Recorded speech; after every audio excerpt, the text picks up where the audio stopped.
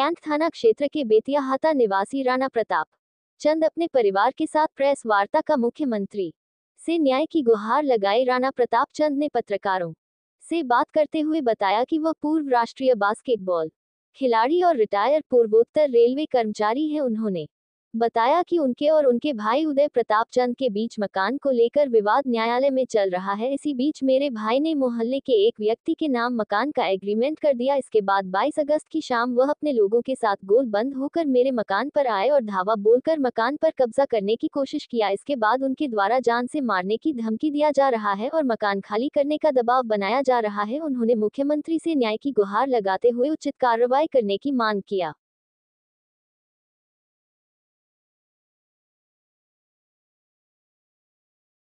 संजय की पार्टी हमारे बगल में उनका ऑफ़िस है और तीन ऑफ़िस है कल डल हाँ, हाँ। है। हाँ हाँ। तो ये दोनों भाई का जो विवाद चल रहा है जैसे बड़े भाई धोखे से जो है मतलब रजिस्ट्री में अपने नाम डलवा हैं। ज़मीन जो इसको अभी रखिए अभी पचासी में हमारे ससुर जी दोनों ये तो गलिया वाला है हाँ हाँ हाँ वही गलिया है यार। गड़िया खड़ा होता है उसी में तो उनका को तो हम हैं और एक कबड्डी वाले बाबा के नाम नाम वो थे। और बाकी लोग मतलब बाकी लोग किसी भी तरह से हम हाथ मिले के फ़ोन ऑन किए।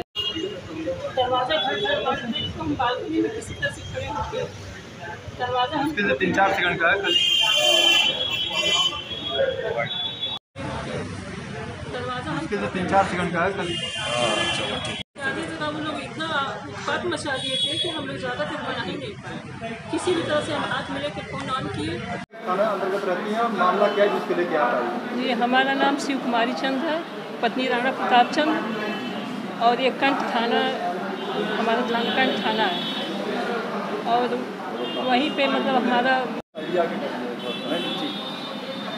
मैडम कहाँ रहती है आप और मामला क्या है जिसको लेकर जी हम बेतिया हाता में रहते हैं कंठ थाना हमारा थाना कंठ थाना पड़ता है और ये बाईस अगस्त को हमारे घर पे हम और ये पति पत्नी हम दोनों लोग अकेले ही थे, बच्चे भी थे और दो एक लोग हम लोग से मिलने भी आए थे, हमारी बहन थी और ऐसे लोग मिलने आए थे। उसी समय करीब पाँच बजे ये लोग पूरे गोलबंद हो के समझिए कि करीब पचास लोग से ही ज़्यादा थे।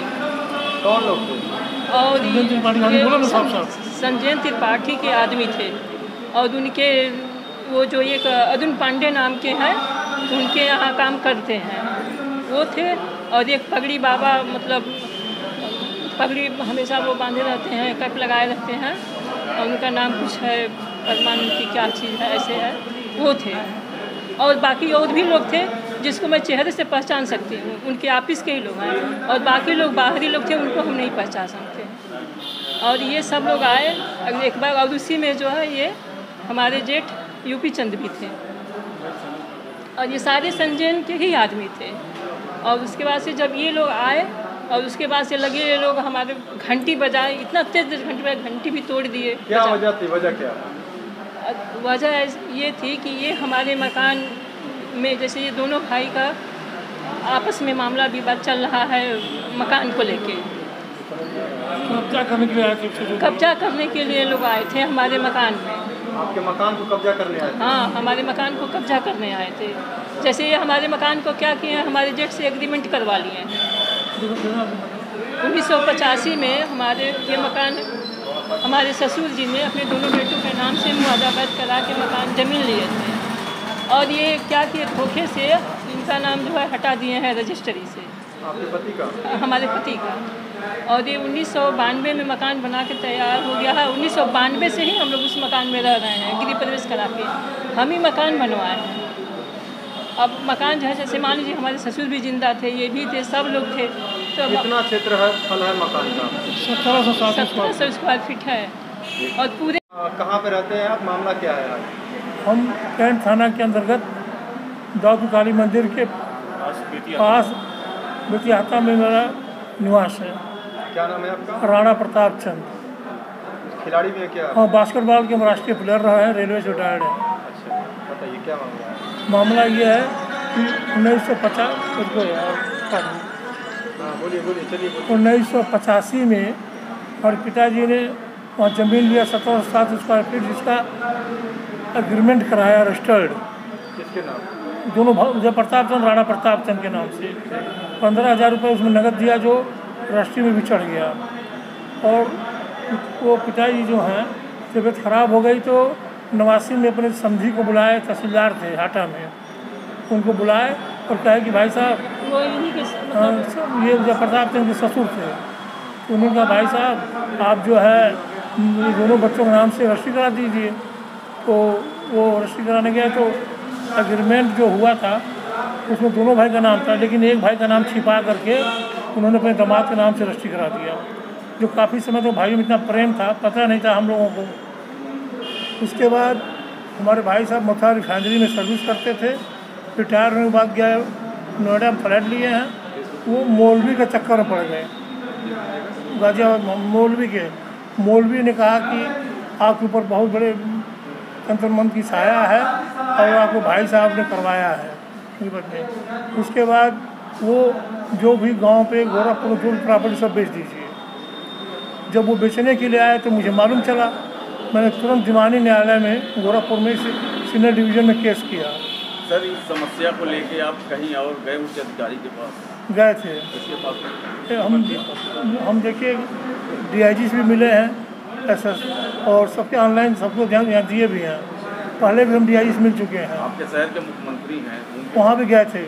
क्या सुबह जाकर दे दिया था हुआ क्या वो सीधे ने- वो आता है मतलब कागज़ ले लिए लोग। कागज़ ले लिया उसका क्या हुआ नहीं कुछ मालूम चला हम लोगों को। अच्छा उसके बाद कोई कार्रवाई नहीं नहीं कुछ नहीं हुआ।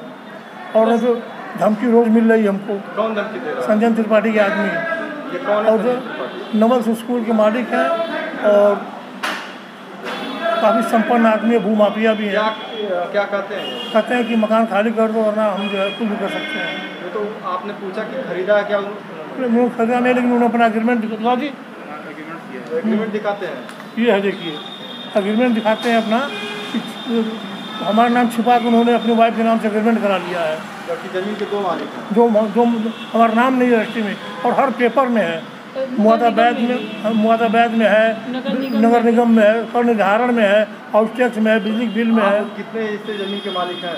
हम हैं आठ सौ कुछ। इतना वो कब्जा कर रहे हैं? पूरा मकान कब्जा कर रहे हैं हमको बाहर कर रहे हैं।